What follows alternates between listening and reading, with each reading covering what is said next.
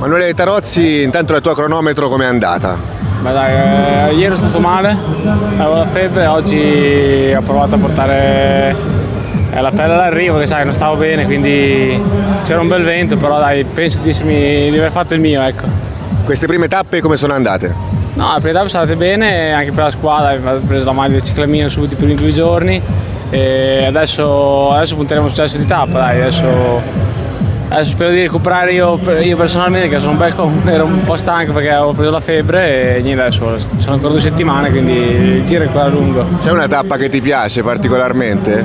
Beh, ce ne sono una o due sì dai, quella... però bisogna avere le gambe perché alla fine ti possono piacere le tappe che vuoi ma se non hai le gambe fai poco.